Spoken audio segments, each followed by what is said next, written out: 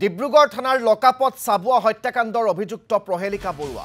প্ৰবঞ্চক চুমি বৰাৰ লকাপৰ সংগী হ'ল প্ৰহেলিকা বৰুৱা। মহাপ্ৰবঞ্চক চুমি বৰাক মাৰাথন জেৰা চলাইছে ডিব্ৰুগড় আৰক্ষীয়ে।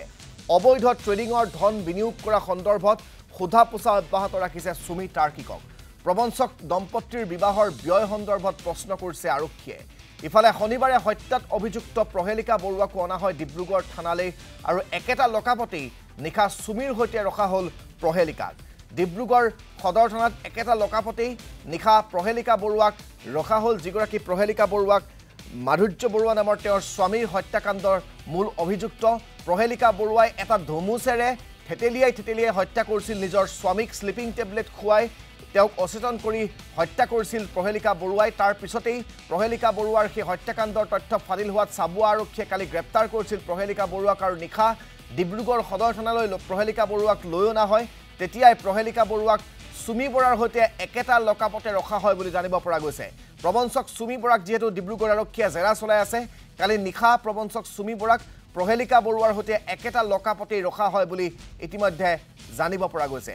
এই সন্দৰ্ভত জানিবৰ বাবে সবিশেষ সবিশেষ খবৰ ল'বৰ বাবে আমি দেৱজিৎ চুতীয়াৰ সৈতে ফোনযোগে সংযোগ স্থাপন কৰিছোঁ। দেৱজিৎ শেহতীয়াকৈ যিটো ঘটনা সংঘটিত হৈছিল চাবুৱাত সেই ঘটনাটোৱে সমগ্ৰ ৰাজ্য জোকাৰি গৈছে। প্ৰহেলিকা বৰুৱা সেই ঘটনাটোৰ মূল অভিযুক্ত।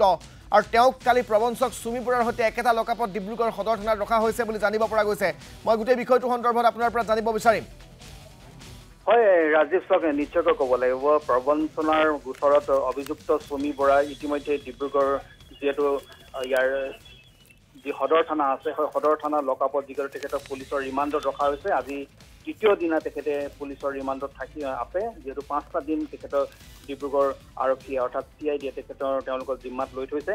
আৰু যিটো ডিব্ৰুগড় যিটো থানাৰ যিটো লকআপ যিটো ফিমেল যিটো লকআপ সেই লকআপত কালি এ, দেখা কালি দেখা পোৱা গ'ল যে চাবুৱাৰ যি ৰুমৰ্ক হত্যাকাণ্ডৰ গোচৰত অভিযুক্ত প্ৰহেলিকা বৰুৱা। প্ৰহেলিকা বৰুৱাকো একেটা লোকাপতে ৰখা হৈছে কাৰণ ডিব্ৰুগড় সদৰ থানাত ফিমেল লোকাপ এটাই আছে আৰু দুয়োগৰাকীকে যিহেতু একেটা লোকাপতে ৰখা হৈছে। এইটো এটা ক'ব লাগিব কাৰণ আহ, দুয়োগৰাকী যিহেতু বৰ্তমান অসমত অতি চৰ্চিত নাম হৈ আছে এফালে প্ৰহেলিকা বৰুৱা কাৰণ নিজৰ স্বামীক তেখেতে যিহেতু ইতিমধ্যে হত্যা কৰাৰ অভিযোগ অভিযোগ আহিছে। নিজৰ স্বামীক যিহেতু শুই থকা অৱস্থাত শ্লিপিং টেবলেট খোৱা খুৱাই আপুনি কোৱাৰ দৰে দুমুচৰে থেতেলিয়াই থেতেলিয়াই তেওঁক হত্যা কৰিছিলে যিটো গোচৰত তেওঁ অভিযুক্ত হয় ইতিমধ্যে চাবুৱা থানাত চাবুৱা আৰক্ষীয়ে তেওঁক আৰু আটক কৰে। আটক কৰাৰ পিছত কালি নিশা তেখেতক ডিব্ৰুগড় সদৰ থানালৈ লৈ অহা হয় আৰু যিহেতু তেখেতক আৰক্ষীয়ে দুদিনৰ কাৰণে ৰিমাণ্ডত লৈছে আৰু তেখেতক ডিব্ৰুগড় যিটো যিটো মহিলা যিটো লকআপ আছে সেই মহিলা লকআপতে তেখেতক ৰখা হৈছে আৰু ইতিমধ্যে সেই মহিলা লক- লকআপত যিহেতু প্ৰবঞ্চনাৰ গোচৰত অভিযুক্ত চুমি বৰাকো সেই লকআপতে ৰখা হৈছে। গতিকে ক'ব লাগিব দুয়োগৰাকী আজি অসমৰ আজিৰ তাৰিখত অতিকে চৰ্চিত নাম দুগৰাকী মহিলা আৰু দুয়োগৰাকী মহিলা এগৰাকী প্ৰবঞ্চনাৰ গোচৰ আনগৰাকী হত্যাকাণ্ডৰ গোচৰ। এই দুয়োগৰাকী অতি চৰ্চিত নামৰ মহিলাগৰাকী ডিব্ৰুগড়ৰ সদৰ আৰক্ষী থানাৰ যি মহিলা লকআপ আছে সেই মহিলা লকআপতে ৰখা হৈছে। আৰু ইতিমধ্যে আমি কৈছোঁ যে চমী বৰাই তৃতীয় তিনিটা দিন যিহেতু লকআপত অতিক্ৰম কৰিলে আৰু তেওঁক সোধা পোছা অব্যাহত ৰাখিছে। এতিয়া সম্প্ৰতিও তেখেতক কিছু সময় পূৰ্বে ডিব্ৰুগড়ৰ যিগৰাকী অ' চিজেল আগৰৱাল তেওঁ আহি ইতিমধ্যে আহিছে। আহ, ডিব্ৰুগড় সদৰ থানাত আহি উপস্থিত হৈছেহি আৰু তেওঁলোকৰ সোধা পোছা ইতিমধ্যে আৰম্ভ হৈ গৈছে। প্ৰত্যেক দিনাখনে যিহেতু চি আই ডিৰ দল হওক বা আৰক্ষীৰ দল হওক তেওঁলোকৰ সোধা পোছা অব্যাহত ৰাখিছে। আৰু একেটা লকআপৰ যিটো মেইল যিটো লকআপ মেইল লকআপত কাৰ্তিক বৰা আৰু তেওঁ অম্লান অম্লান বৰা দুই ভাতৃকে একেলগে ৰখা হৈছে। গতিকে আজিৰ তাৰিখত ক'ব লাগিব যে ডিব্ৰুগড়ৰ সদৰ থানাৰ যি লকআপ সেই লকআপক লৈ যথেষ্ট চৰ্চা হৈছে। কাৰণ এটা লকআপত আছে তাৰ্কিক বৰা আৰু ভাতৃ ভাতৃ অম্লান বৰা। দুয়োগৰাকীও যিহেতু এই যিহেতু প্ৰবঞ্চনা গোচৰটোৰ লগত তেওঁলোকৰ সাঙুৰ খাই আছে। আৰু আনটো লকআপত ফিমেল লকআপত আছে। আন দুটা চৰ্চিত নাম চুমি বৰা আৰু প্ৰহেলিকা বৰুৱা। গতিকে নিশ্চিতভাৱে আজিৰ তাৰিখত ডিব্ৰুগড় সদৰ থানাৰ যি লকআপ সেই লকআপ বহুত চৰ্চিত লকআপ হৈ আছে।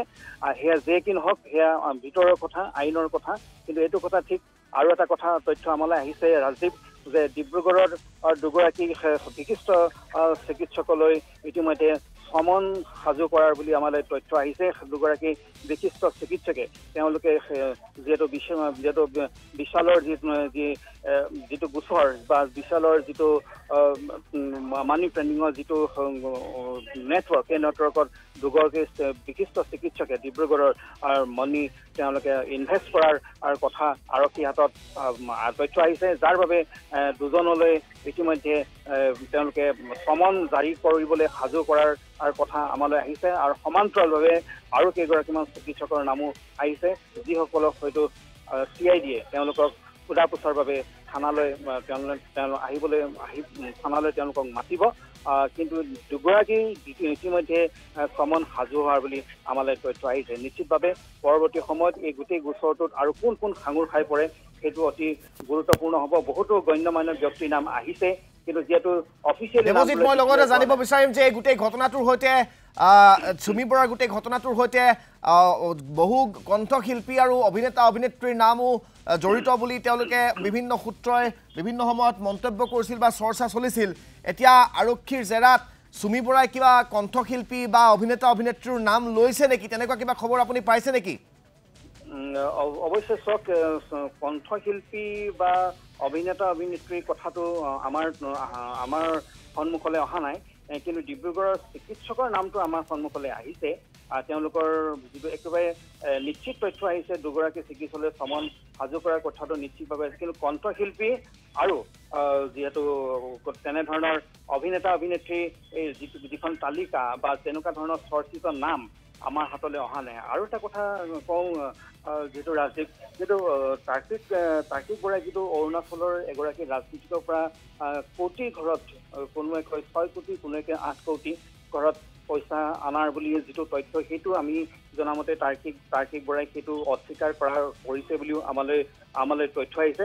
আৰু আটাইতকৈ ডাঙৰ কথা হ'ল যে তেওঁলোক গোটেইকেইজনৰ মাজত ভাষ্যৰ মাজত যথেষ্ট তাৰতম্য আছে বুলিও আমালৈ কৈছে। ইজনৰ ভাষ্যৰ লগত সিজনৰ মিলা নাই সিজনৰ ভাষ্যৰ লগত সিজনৰ মিলা নাই বুলিও আমালৈ খবৰ আহিছে।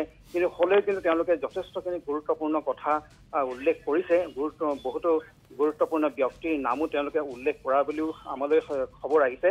গতিকে আমি দিনটোৰ ভিতৰত হয়তো আমি গম পাম। যদি খুব জৰুৰীভাৱে যদি চমন জাৰি কৰা হৈছে বা আজিৰ ভিতৰত যদি আহ, তেওঁলোকলৈ পঠোৱা হয় নিশ্চিতভাৱে তেওঁলোক বিশিষ্ট ব্যক্তিসকলৰ গণ্যমান্য বহুকেইজন ব্যক্তি থানাত আহি উপস্থিত হ'বই লাগিব নতুলে নতুবা হয়তো তেওঁলোকৰ আইনৰ জটিলতাত সোমাই পৰিব।